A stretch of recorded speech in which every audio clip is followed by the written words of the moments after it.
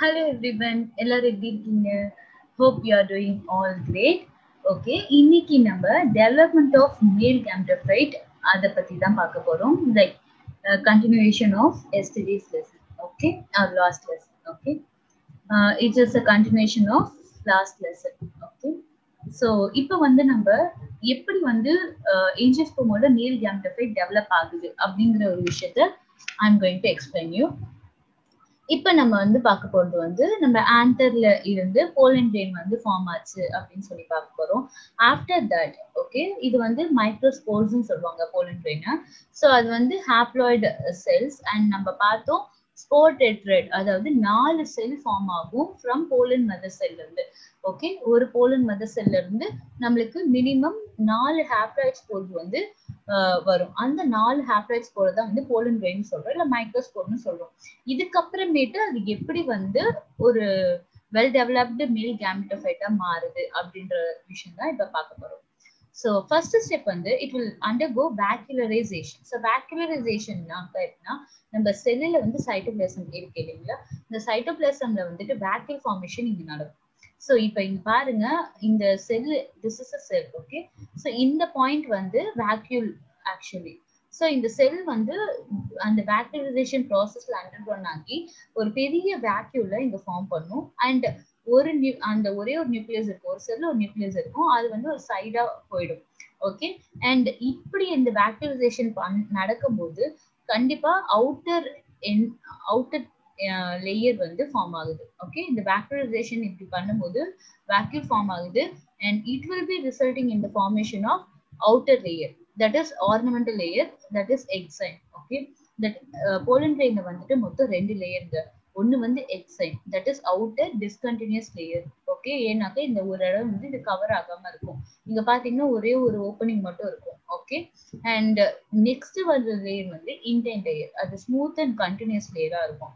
Okay இந்த outer layer வந்து இதை பத்தின எல்லா விஷயமும் வந்து நம்ம ஃபியூச்சர் கிளாஸ்ல பார்க்கலாம் ஸோ இன்டென்ட் லேயருக்கு என்ன ஆகும்? அப்ப உள்ள ஆக்சுவலி என்னதான் நடக்கும் அப்படின்னு பாத்தீங்கன்னா ஒன்றும் இல்லைங்க. மைட்டோசிஸ் தான் நடக்கும். ஸோ இந்த இந்த செல் இருக்கு இல்லையா? இந்த நியூக்ளியஸ் இருக்கு இல்லையா? இந்த ஒரு செல்லுல நம்ம வந்து ஒரே ஒரு ஹாப்லைட் ஸ்கோரை பத்தின டெவலப்மெண்ட் தான் பார்க்க போறோம். இதே மாதிரி ஈவெண்ட் தான் அந்த ஏஞ்சஸ் ஸ்போர்ம்ல இருக்கிற எல்லா போலன் கிரெயினுக்குமே வந்து நடக்கும்.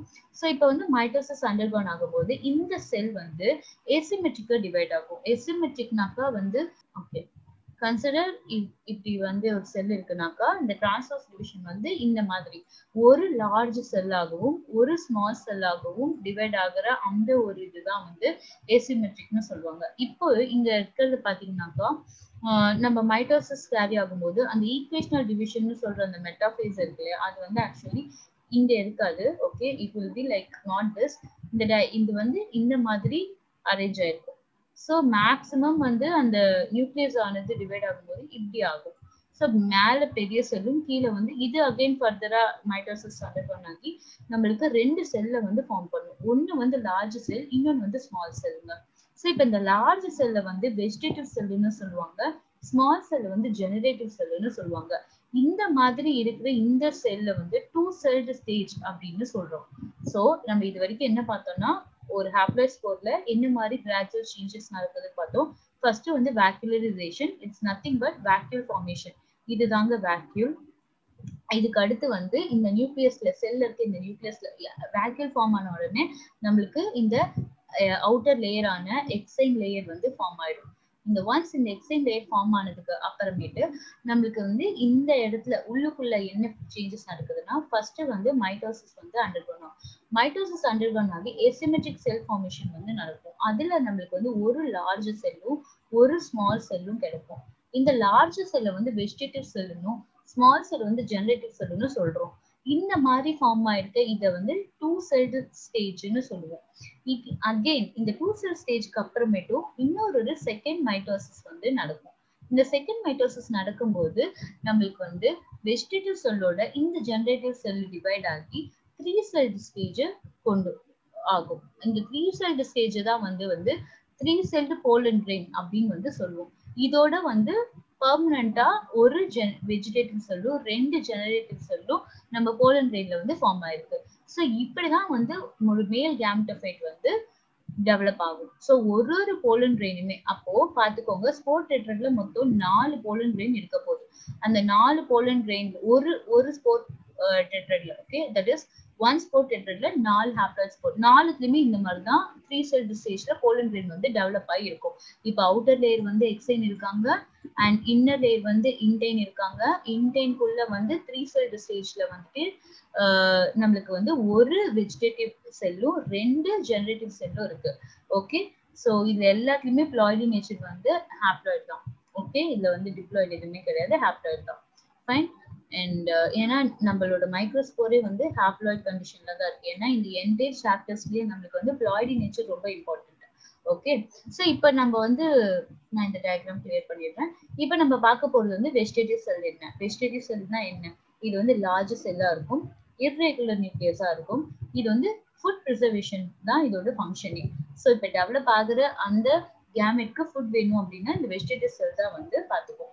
நெக்ஸ்ட் வந்து ஜென்ரேட்டிவ் செல் இந்த ஜென்ரேட்டிவ் செல் எப்படி இருக்கும்? ஸ்மாலா இருக்கும். இது வந்து ஒரு ஸ்மால் ஸ்பிண்டில் ஷேப்ல இருக்கு. ஓகே இல்ல ஒரு மாதிரி ஸ்பிண்டில் ஷேப்ல இருக்கு. ஸோ இது ஸ்பிண்டில் ஷேப் இது வந்து இந்த இந்த என்டே வெஜிடேட்டிவ் செல்லோட சைட்டோபிளாசத்துல it will be floating okay ஃப்ரீயா ஃப்ளோட் ஆயிட்டு இருக்கும். And remember sixty percent of angiosperm வந்து இந்த மாதிரி டூ சைடு ஸ்டேஜ்ல தான் வந்து ஷெட் ஆகும். ஓகே அதுக்கு அடுத்ததான் செகண்ட் மைக்ரோசிஸ் வந்து அண்டர்கன் ஆகி த்ரீ சைடு ஸ்டேஜ்ல போகும். So generative cell again goes for the second mitosis இதை பத்தி பேசுறாங்க. அகெயின் ஃபர்ஸ்ட் ஒரு ஜென்ரேட்டிவ் செல் ஃபார்ம் ஆயிடும். அது டூ செல் ஸ்டேஜ்ல ஏஞ்சஸ்பர்ம்ல sixty percent of angiosperms it will be shed like this and அதுக்கு அடுத்து வந்து மைட்டோசிஸ் அண்டர்கன் ஆகி த்ரீ செல் ஸ்டேஜ்ல வரும். ஸோ இதுதான் வந்து three celled pollen grain that is a mature male gametophyte and always remember male mean pollen வந்து actually it's a male gametophyte okay அது வந்து மேல் கேமிட் கிடையாது. அந்த போலன் கிரெயின் உள்ள ரெண்டு செல் இருக்கு பாத்தீங்களா? அந்த ஜென்ரேட்டிவ் செல் அதுதான் நம்மளோட male gamete that is actually pollen is a carrier of the male gametes so it is called as male gametophyte okay so அப்போ என்டையராகவே வந்து நமக்கு ஒரு மியாசிஸும் ரெண்டு மைட்டோசிஸும் வந்து தேவைப்படுது. ஒரு மேல் கேமிட் வந்து வர்றதுக்கு. ஓகே ஸோ உங்களுக்கு இது புரிஞ்சிருக்கும்னு நான் நினைக்கிறேன். ஸோ இதை நீங்க பாத்தீங்கன்னாவே தெரியும் ஹவு த ஸ்டெப் வைஸ் இந்த மேல் கேம்டோஃபைட் வந்து டெவலப் ஆயிருக்கு அப்படின்னு சொல்லிட்டு. இது கூடவே நம்ம வந்து என்ன பார்க்க போறோம் அப்படின்னா போலன் பிரெயினை பத்தி பார்க்க போறோம். இப்போ ஒரு நம்மளுக்கு ஒரு மெச்சூர் போலன் பிரெயின் இருக்கு. அந்த போலன் பிரெயின்ல என்னென்ன ஸ்ட்ரக்சர் இருக்கு அப்படிங்கறத we are going to explore now okay so pollen grain எவ்வளவு இம்பார்ட்டன்ட்னு நமக்கு தெரியும். நான் ஆல்ரெடி சொன்ன மாதிரி it is surrounded by two distinct layer so ரெண்டு லேயரால இந்த போலன் பிரெயின் வந்து சரௌண்ட் ஆயிருக்கும் இதுதான் ஸ்ட்ரக்சர் சரிங்களா? இப்போ வந்து நான் சொல்லியிருக்கேன் எக்ஸைன் வந்து அவுட்டர் லேயர் இன்டைன் வந்து இன்னர் லேயர் இதுக்குள்ள வந்து ஒரு செல் மெம்பர் இருக்கும். அதுக்குள்ள நம்ம ஆல்ரெடி பார்த்த மாதிரி ஒரு வெஜிடேட்டிவ் செல்லும் ரெண்டு ஜெனரேட்டிவ் செல்லும் இருக்கும். அண்ட் இந்த எக்ஸைன் நான் ஆல்ரெடி சொல்லியிருக்கேன் ஒரு இது வந்து ஒரு டிஸ்கண்டினியூஸ் லேயர் ஓகே இதுக்குள்ள வந்து ஒரு சின்ன ஒரு ஓப்பனிங் இருக்கும். இந்த ஓப்பனிங் தான் வந்து ஜெர்ம் போர்னு சொல்லுவாங்க. இந்த ஜெர்ம் பொருள் வந்து எந்த ஒரு எக்ஸைனும் கவரே ஆயிருக்காது சரியா? சோ இப்போ வந்து நம்ம பாத்தீங்கன்னாக்கா அவுட்டர் லேயர் வந்து எப்பவுமே திக்காவும் ஆர்னமெண்டாவும் இருக்கும். அது வந்து எக்ஸைன்னு சொல்லுவாங்க. And it is made up of a chemical called sporopollenin இது வந்து ஹைலி ரெசிஸ்டன்ட்னு சொல்லுவாங்க. And non biodegradable it is very very very very important ஏன்னா ஸ்கோரோபோலனின் வந்து எந்த ஒரு பேராமீட்டராலையும் நம்மளால டிகிரேட் பண்ணவே முடியாது. Okay I talk about it little later இப்போ வந்து ஒரு சைஸ் ஆஃப் போலன் கிரீன் பாத்தீங்கன்னா twenty five to fifty mu m டயமீட்டர்ல இருப்பாங்க. இப்போ ஒரு மெச்சூர் ஆன்சர்ல வந்துட்டு நிறைய மில்லியன்ஸ் ஆஃப் போலன் ரெயின்ஸ் இருக்கும் fine and exine and intine together called as sporoderm because அது ஒரு கலெக்டிவா ஒரு நேம் கொடுக்கணும் அப்படின்னாக்கா ஸ்போரோடர்ம்னு கொடுக்கலாம். ஏன்னா ஸ்போரை வந்து கவர் பண்ணிருக்கு. You just say sporoderm is a layer so wall of a pollen அப்படின்னு பார்த்தீங்கன்னா இந்த ரெண்டும் சேர்ந்தது தாங்க ஓகே ஸோ இப்போ எக்ஸைனை பற்றி பார்க்க போகிறோம் இது outermost layer protective in function திக்காக இருக்கும் it is made up of a sporopollenin that is again இந்த லேயர் எக்ஸைன் வந்து டிஸ்கண்டினியூஸாக இருக்கும். Leaving one opening for germ pore and இந்த ஸ்போரோபோல்னின் வந்து most resistant organic matter ever known இது வரைக்கும் கேள்விப்பட்டதுலேயே ஒரு நான் ஒரு திக்கான ஒரு டியூரபிளான ஒரு ரெசிஸ்டண்டான ஒரு மெட்டீரியல் அப்படின்னாக்கா அது ஸ்போரோபோல்னின் மட்டும்தான். ஓகே ஸோ இந்த ஸ்போரோபோலின் ஏன் அவ்வளோ ரெசிஸ்டண்டா இருக்கு? இது எதுல இருந்து வந்திருக்குன்னா it is released by tapetum நம்ம வந்து பார்த்துருப்போம்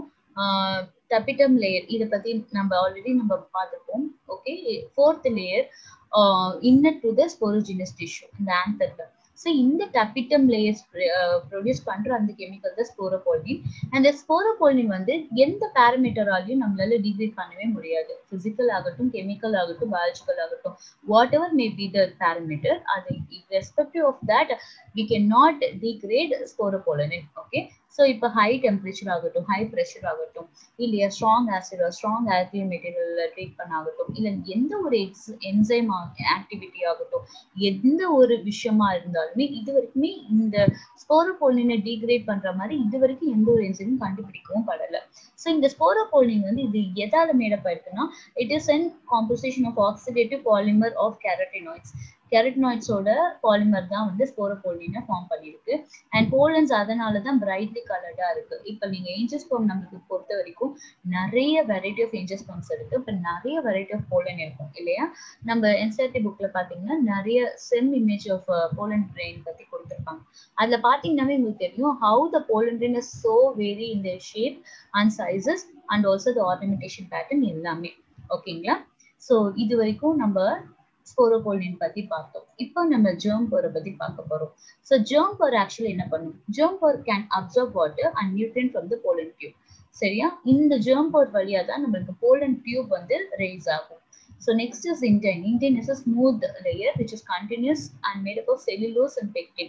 அதனால இது பெக்டோசெல்லுலோஸ்னு சொல்லுவாங்க. ஸோ இப்போ ஓரளவு வந்து இந்த போலன் பிரெயினை பத்தின ஸ்ட்ரக்சர் வைஸும் கெமிக்கல் வைஸும் ஃபங்க்ஷன் வைஸும் நம்மளுக்கு தெரிஞ்சிச்சுன்னு நினைக்கிறேன். ஸோ இதோட கண்டினியூவேஷன் நம்ம நாளைக்கு பார்க்கலாம். Take care be safe